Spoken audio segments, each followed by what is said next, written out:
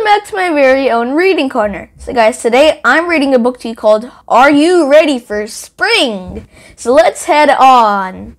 Sights and Sounds of Spring. Sploosh, splush. Do you hear that? It is the sound of rubber boots splashing in deep, muddy puddles. It is spring.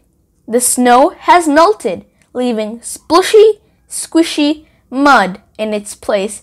And that is true because near my house, a lot of the snow melted and there's a lot of wet grass and dirt, and so it turned into mud.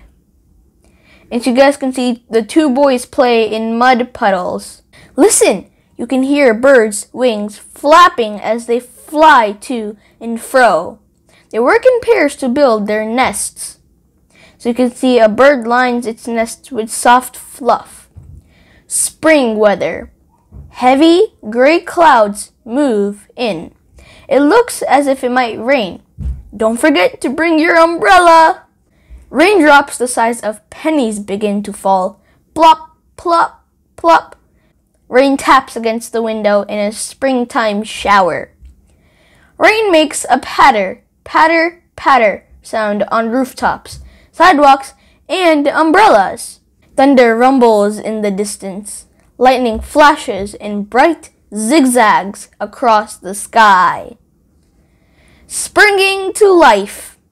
Flowers and trees need spring rains to grow. Tiny shoots emerge from the dark, moist earth.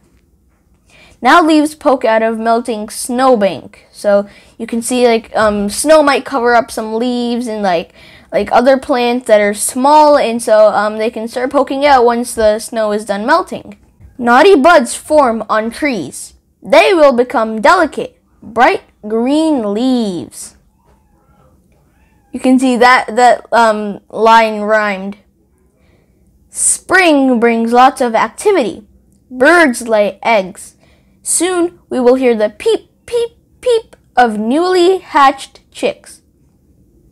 Hungry baby birds call out to their parents. Adult birds hunt worms to feed their hungry, fuzzy babies. In springtime, mother deer give birth to fawns.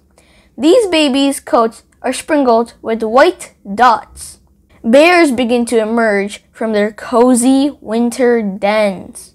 They are hungry after long months of hibernating. Everyone feels energized by the change in the weather. The spring world as the weather gets warmer, families play together outdoors. That is true because I started playing outdoors because it got um, warmer outside. Colorful kites whoosh through the sky, whisked along on brisk breeze. People dig in the earth to plant seeds in flower beds and gardens. Soon, plants will grow from the seeds. Flowers begin to bloom coloring the world with bright pink, yellows, and reds. Insects flit here and there. Bees buzz from flower to flower. Animals begin to shed their winter coats. So you guys can see this um, bison is shedding its heavy winter coat because during the winter it needed that coat so um, it can stay warm. So now it doesn't because it's it's already warm outside. Summer is coming. The temperature gets warmer and warmer. It is time to pack away our bulky winter clothes. I am so happy I don't have to wear my winter clothes anymore. Days get longer and longer. Long days mean more time to play outside. Puddles and mud begin to dry up. Days are bright and warm. Summer is on its way. What will you do in summer, guys? So that is one of the questions that I'm asking you. So what are you guys gonna um, think of doing in the spring and summer? How do chickens hatch? Many baby animals are born in the spring. One of them is the baby chicken or chick. Mother chickens lay eggs when they are ready to have chicks. One tiny chick is inside each egg. The mother chicken sits on the eggs after she lays them Soon the chicks are ready to hatch. A chick picks at its eggshell when it's ready to hatch. This is called piping.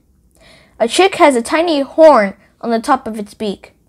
The horn is called an egg tooth. The chick uses its egg tooth to break out of its egg. It's a lot of work for a chicken to break out of its egg. A chicken is wet and tired when it first breaks free. It may lie still and rest for a few hours. Soon its downy feathers have dried. The chick is ready to explore its surroundings. A chick's egg tooth falls off within a day after the chick hatches. The chick starts growing feathers just a few weeks later. She'll look more like a chicken than a chick in no time. So you guys can see a chick watches another chick hatch. You guys can see like um, chick that already hatched watches another one. So guys, here's the glossary. So if there were some of the things you guys didn't understand, or like some of the words, you guys can pause the video and um, like understand the meaning of some words. Okay guys, hopefully you guys enjoyed this video. Um, so guys, I had two questions for you guys, and so I already gave you guys one of the questions, which was, um, what are you guys planning to do in the spring and summer? And so, guys, my second question is, what do you guys think hibernating means? And so, if you guys don't know what hibernating means, that is fine. And so, you guys can try finding out um, with the help of a parent or try searching it up. So, guys, okay, guys, hopefully, you guys enjoyed this video. If you guys want more of these videos, don't forget to smash like button. I'll see you guys in another video. Bye, guys!